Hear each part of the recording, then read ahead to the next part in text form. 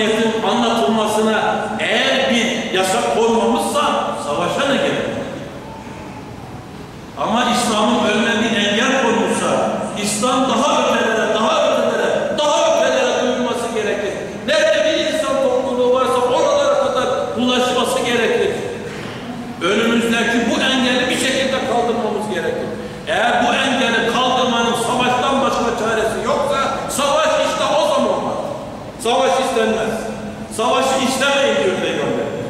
Ama çaresiz kalırsanız kaçmayın Allah için savaş. Allah sabredenlerle beraber. Dayanan, direnen, iradesi sağlam olanlarla Allah Celle Celaluhu beraber. Yani cihadı da iyi anlamak lazım. Kim insanlar cihad atalarımız atın üstüne tiki tak tiki tak tiki tak etmiş, ülkeleri fethetmiş, onların mallarını toplamış, gelmiş burada afiyetle yemiş. Hadi doğru, insan. Nereden çıktınız siz ya? Size hangi mektep yetiştirdi? Size hangi üniversite yetiştirdiyse Allah onu ıslah. Kendi atasına, kendi cehdine, kendi geçmişine bu kadar cahil ve bu kadar düşman dünyanın hangi milleti var ya?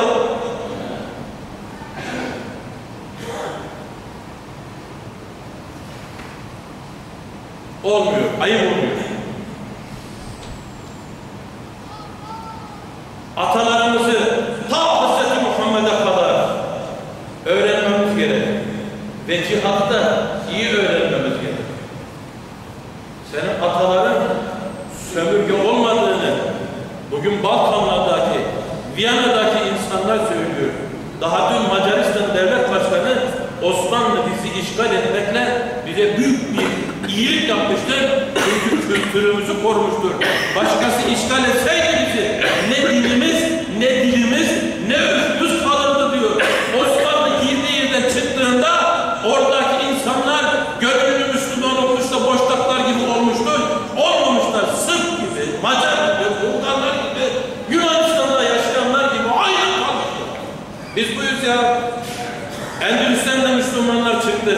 Endülüs 600 küsür, Osmanlı'dan daha fazla bir müddet Müslümanların elindeydi. İspanya'da Müslümanlar mağlup oldular.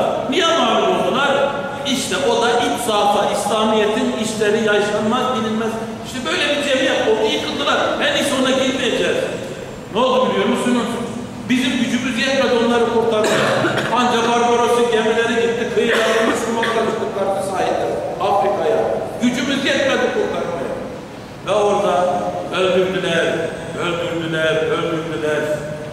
Toplu halde ateşler yaktılar. Alevli ateşlere değil, alevi geçtikten sonra közlerin içerisine Müslümanlar attılar. Niye biliyor musunuz? Tez ölmesin, zıplayarak, oynayarak, acı çekerek ölsünler. Hırslarla geçtiler. Nihayet biz dinimizden döndük, biz Hristiyan olduk diyen insanları sağ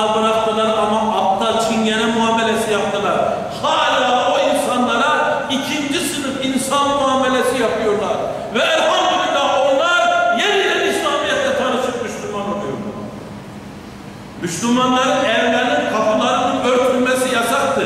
İsteyen kafir gelip kızlarından ve kadınlarından faydalanabilirlerdi. Cihad etmemek bu demektir. Cihad fikrini beslememek bu demektir.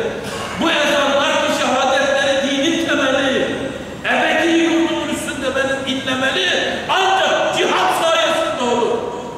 Bir eğitim sistemi ki cihad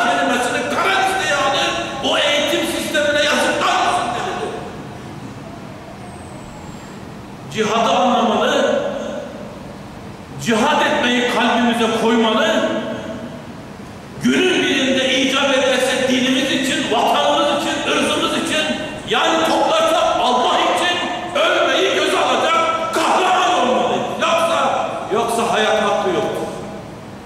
Bunu iyi bilsinler. O yüzden Müslümanlar cihadı iyi bilir, evlatlarını da cesur ve kahraman yetiştirmek zorundadır. لله الفاتحة